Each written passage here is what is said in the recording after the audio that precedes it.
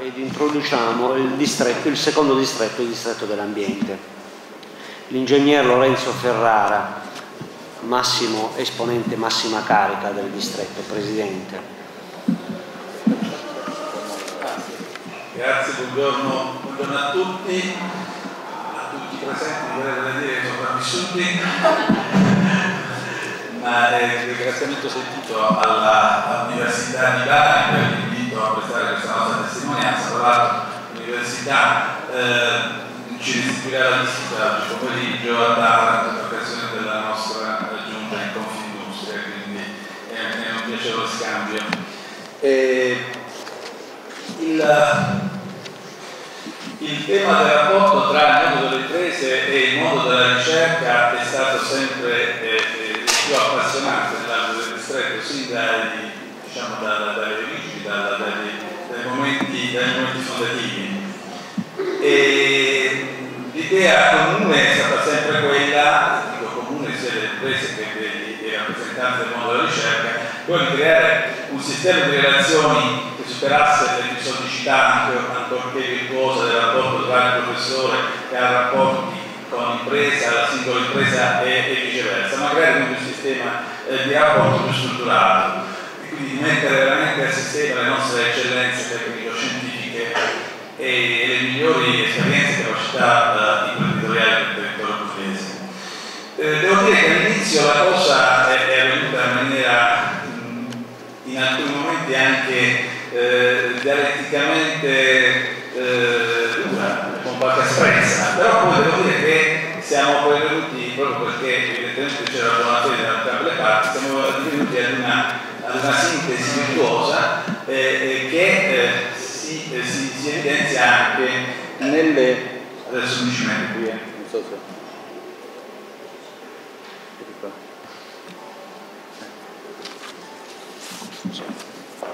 Eccolo. Sì. Ecco, sin, da, sin, dalla, sin dalla, dai momenti, come dicevo, di strutturazione del nostro programma di sviluppo che è, è, è, imperna su 6-7 linee strategiche, tra cui evidentemente quella della promozione dello sviluppo dell'innovazione sia tecnologica che del sistema è centrale, ma ecco, mi piace anche qui osservare, non, avevo, non, avevo, non avevo previsto di dirlo, che eh, come vedete eh, addirittura la prima linea strategica è quella di, anzi la seconda, quella di una rete di comunicazione e informazione. Scambiamo qualche battuta prima dell'inizio di questo, di, di questo incontro con il nostro, il nostro coordinatore, il dottor Ferretti, eh, sui temi della comunicazione, qui è esperto, e, che per noi è un fatto essenziale, cioè la comunicazione in campo uh, ambientale è, è una, quindi ad essere evidentemente un prerequisito imprescindibile per la trasparenza, ma eh, è per noi anche la sopravvivenza, perché nel campo, campo ambientale eh, mistificazioni e strumentalizzazioni sono all'ordine del giorno. Le, si fanno campagne elettorali su sui temi ambientali, strumentalizzando di tutto e di più, si fa spesso una comunicazione urlata e non ragionata sui temi della comunicazione. Ecco perché uno degli elementi che noi abbiamo voluto assumere come strategici della nostra azione è proprio una corretta comunicazione alla quale stiamo, quale stiamo cercando di dare tramite il portale specifico, oltre che con i nostri interventi eh, pubblici su,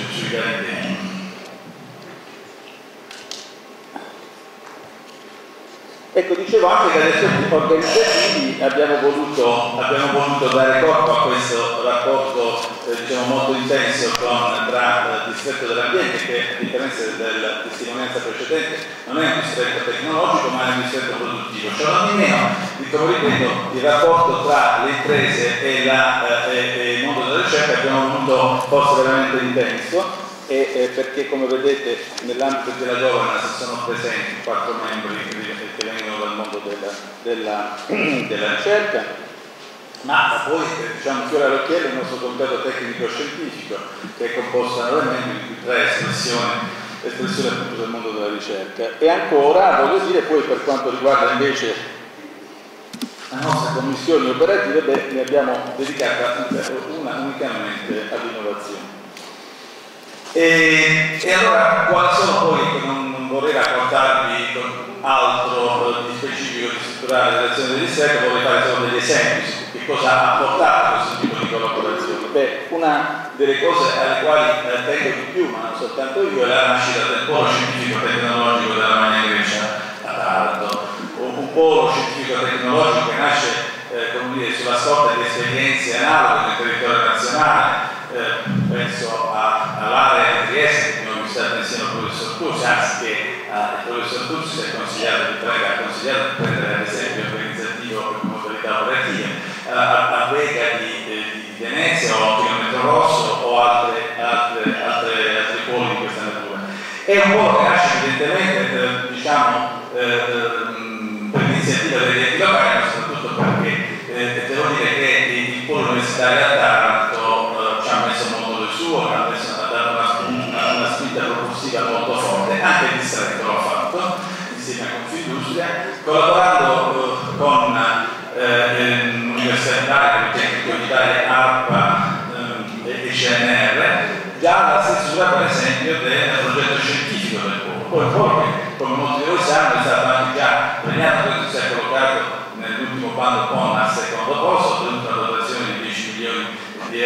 finanziamento che questo, siamo, si stanno spendendo in questo momento. Ecco, eh, evidentemente il polo nasce a ed ha direi quasi naturalmente una, una vocazione sulle tematiche ambientali, direi quasi esclusivamente sul ciclo delle acque, il ciclo dei rifiuti, le bonifiche e, e, e, e la tutela dell'aria. Eh, si cerca evidentemente anche qui di promuovere, dicevo, la sorta di esperienze similari in Italia, il rapporto di dono tra eh, ricerca e impresa per eh, arrivare come dire, alla, eh, quello che ormai è assunto comune, cioè una delle eh, uno degli strumenti più efficaci che abbiamo per promuovere la crescita delle nostre imprese, delle nostre piccole e medie imprese è sicuramente l'innovazione e tramite l'innovazione poi anche promuoverci eh, sui mercati internazionali come vi dirò poi. E eh, gli approcci sono eh, di tipo tradizionale, quindi la nascita di, eh, di spin-off a partire dalla ricerca delle imprese, ma anche eh, a mio avviso molto efficace, eh, un approccio diverso, cioè quello di partire dalla, da quello che esiste e cercare di fornire un upgrade tecnologico ai processi produttivi già, eh, già in atto. Questo ovviamente può riguardare qualsiasi tipo di impresa perché come immaginate eh, le tematiche che attengono all'impatto ambientale eh, attraversano trasversalmente tutte le attività produttive. E, Ecco, il distretto dell'ambiente in questa fase, eh, proprio in un'ottica di rapporto trasparente con le elezioni che stanno sorgendo, ha siglato una, eh, una, l'ATS che poi insomma è la, attualmente è il, il polo scientifico tecnologico si, si identifica nell'ATS perché costituito da polo da Politecnico di Italia, Università di Italia, Alfa Puglia e CNR e stiamo dando vita ad una serie di azioni per lo startup per l'avvio della vita del polo. Eh, nell'ambito dell'attività del distretto sono stati eh, proposte 100 eh, attività, 100 progetti eh, che non solo una denominazione, un titolo, ma dietro ogni progetto c'è, c'è una compagine imprenditoriale costituita da uno o più soggetti e nel 50% dei casi eh, sono progetti innovativi, tant'è che eh, 46 su circa 100, più di 100, 46 sono accompagnati da distretti, distretti dipartimenti universitari, proprio per la forte connotazione eh, di eh, innovazione tipo tecnologico di processo eh, ehm, inserita in questo progetto. Un'altra esperienza che non è intercitata è quella del progetto Meteco, questo è un progetto multiregionale in cui eh, con la regione Basilicata eh, stiamo eh, promuovendo appunto un incontro anche qui tra mondo della ricerca e mondo dell'impresa e come, come esempio di trasparenza sono messe in rete 38 eh, proposte di innovazione tecnologica soprattutto orientate al campo delle bonifiche, quindi dei monitoraggi ambientali e degli interventi di bonifica, ai quali le aziende che hanno aderito al progetto possono liberamente accedere scegliendo come da un menu le, le, le occasioni di, di, innovazioni che vogliono cogliere in questo, nell'ambito di questo progetto. Eh, non mi dilungo su questo. Ecco, mi piace citare eh, qualche esempio, perché alla fine, al di là delle affermazioni, che voglio dire, di, l'assunto che la nostra la scommessa, la scommessa sul mercato si dice soprattutto attraverso l'innovazione, insomma, rapporto con imprese e università è un assunto eh, condiviso, eh, molto pronunciato, eh, però eh, meno frequentemente praticato. qualche esempio quindi voglio dire giusto per eh, mi sento di poter dire definire incoraggiante l'esperienza del distretto, ecco, lo faccio attraverso qualche esempio. Eh, un rapporto particolarmente interessante di trasferimento tecnologico eh, è avvenuto tra il, la, la ricerca all'interno del CNR e alcune aziende del distretto. Qui vediamo l'esempio di una eh, metodica di eh, decontaminazione di siti inquinati eh, a basso costo parentesi, eh, diciamo, la stagione delle bonifiche in Italia, più volte annunciata e, e, sempre, e quindi è sempre stato ritardato in Italia come anche evidentemente in Puglia, Taranto in particolare, perché gli interventi di bonifica um, a disposizione, diciamo così, o comunque anche eh, diciamo, suggeriti dell'Ambiente, sono costosi. Quindi, come diceva eh, l'amico che mi ha preceduto, siamo in un periodo e allora ecco che la ricerca deve orientarsi non a cercare necessariamente la migliore tecnologia, ma la migliore tecnologia a basso costo. Quindi questo è un fronte sul quale ci stiamo cimentando e quindi questa tecnologia di um, phytoremediation, se volete fitodecontaminazione, che nasce nel laboratorio del CNR, eh, prevede appunto la selezione di ibridazione di alcune specie arbore, in questo caso piombi, che eh, vengono appunto selezionati in laboratorio e eh, poi evidentemente piantumate, quindi da quello che vi mostro, le foto che vi mostro si riferiscono ad un'azione dimostrativa in corso in questo momento a Taranto, eh, in un'area prospicente in Mar quindi a ridosso del Mar di circa 6.000 m2 e eh, questa piantumazione è avvenuta dopo l'attività di laboratorio in aprile e oggi siamo ad uno sviluppo di oltre 3 metri della piantumazione e avremo il report che si annuncia